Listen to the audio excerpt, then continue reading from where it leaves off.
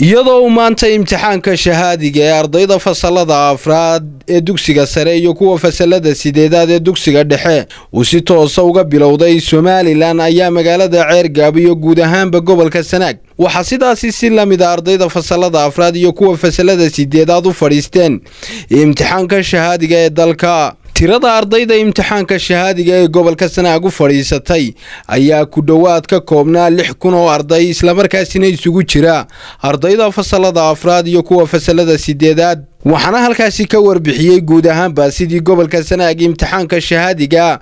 Uuga bilowday saaka guddoomiyaha wasaaradda waxbarashada gobolka sanaag anii saalax xaaji xasan.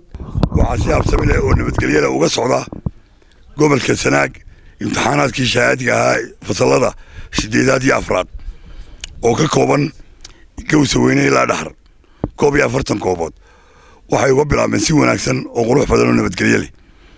Waxaa ku jira imtixaanaadka fasalada sideedaad afar kun iyo afar boqol oo arday halka fasalada afraad ee foonfooradana ay gelayaan kun iyo afar boqol iyo lixdan arday dhammaanteed si wanaagsan bay uga bilaabmeen. Sidoo kalena waxaa isna dhankiisa ka hadlay kormeeraha qaybta imtixaanka gobolka sanaag ee wasaaradda waxbarashada somalilan. Anigoo ka socda xafiiska imtixaanaadka qaybta kormeerka guuda ku qoran gobolka sanaag gaar ahaan eergaabo ilaa iminka intaanu meel soo marnay si wanaagsan baa imtixaanka u socdaa wax dhibo maan arag wax calqalada maan arag.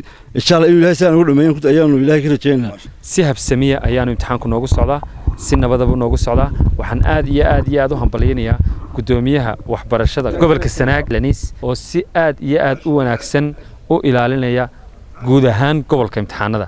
Cabdiraxmaan axmed ilsar